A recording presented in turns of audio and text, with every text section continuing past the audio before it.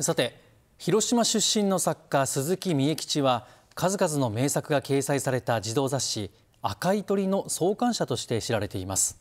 その鈴木三重吉の童話集が広島市の図書館と高校生の手によって生まれ変わりました。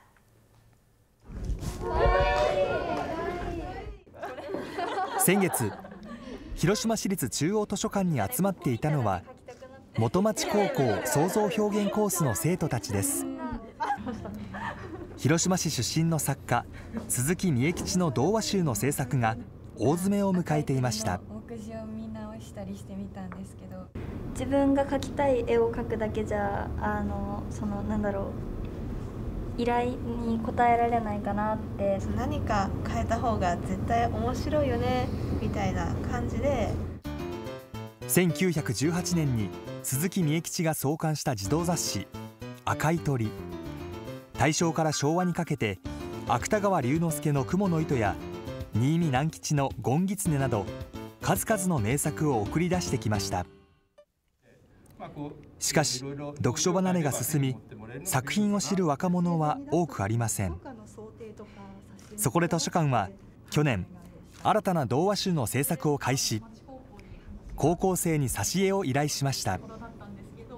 どうやったら届くかなって思った時に高校生が描いた絵であればまた中高生同じ世代の方にこう届きやすいというか響くのではないかというふうに考えて。生徒たちは学芸員から講義を受け物語の背景を研究。童話集に掲載する13作品それぞれの扉絵などをおよそ9ヶ月かけて作り上げました。赤い鳥創刊から100年余りを経て誕生した童話集。表紙は創刊号の馬に乗る少女を現代風にアレンジし電車に乗るセーラー服姿の高校生を描きました。毎日忙しくってなかなか読書をする時間が取れないっていう中高生も多いと思うので日常の一部に読書をする時間がもっと増えたらいいなと思ってあこの表紙だったらこう読書ちょっと苦手だけど私でも読めるかもしれない読んでみようって思ってほしいな。高校生の手によって新しく彩られた童話集は今月から広島市立の各図書館や高校などで手に取ることができます。